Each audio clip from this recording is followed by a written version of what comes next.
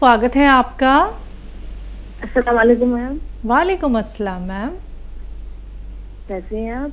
हम ठीक हैं आप बताएँ? जी हम ठीक हैं। अस्सलाम वालेकुम हकीम साहब। वालेकुम बताइए आफरीन कैसी हैं? आप कैसे हैं? मैं भी ठीक हूँ। अल्हम्दुलिल्लाह अल्लाह का शुक्र है आपकी दुआएँ। जी। साहब मैं ये जानना था जो लौंग होती, होती है तो उसके क्या क्या फ़ायदे किन किन बीमारियों में लौंग का यूज़ होता है? और लौंग क्या क्या फ़ायदे हैं? जी हाँ लौंग ठीक है। मेरे दो सवाल है। हम्म। और दूसरा सवाल ये जो रसभरी होती है तो उसके क्या क्या फ़ायदे हैं और किन किन बीमारियों में मतलब यूज़ होती है दोनों चीज़ें? इसके बारे में जानना। ठीक है मैम। हाँ देखिए लौंग बहुत फ़ायदेमंद औषधि है।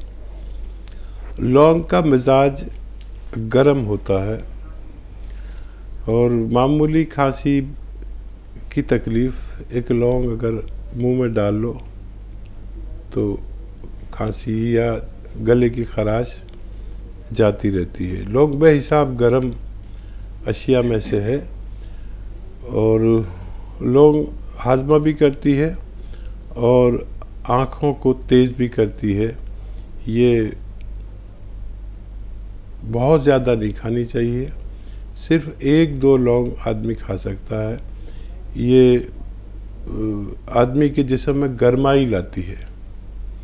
और अगर एक दो लौंग इस्तेमाल करें तो शबाब आवर भी है। औरतों और मर्दों के चेहरे पर शबाब भी लाती है। मर्दाना ताकत में भी इसका इस्तेमाल किया जा सकता है, लेकिन इसकी तादाद सिर्फ़ एक या दो लौंग ही रहेगी, क्योंकि ये बहुत गर्म है। और लौंग का तेल भी आदमी इस्तेमाल करता है अपने दांतों की तकलीफ़ में।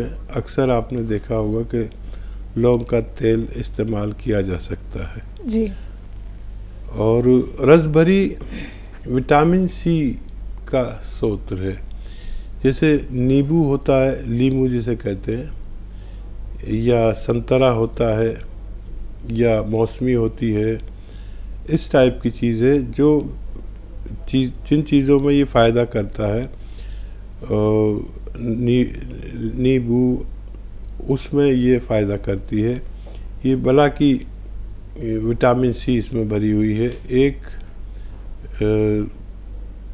नींबू ना खाकर अगर हम एक दो रस भरी खा लें तो हमारी नींबू की ज़रूरत पूरी हो जाती है। जी।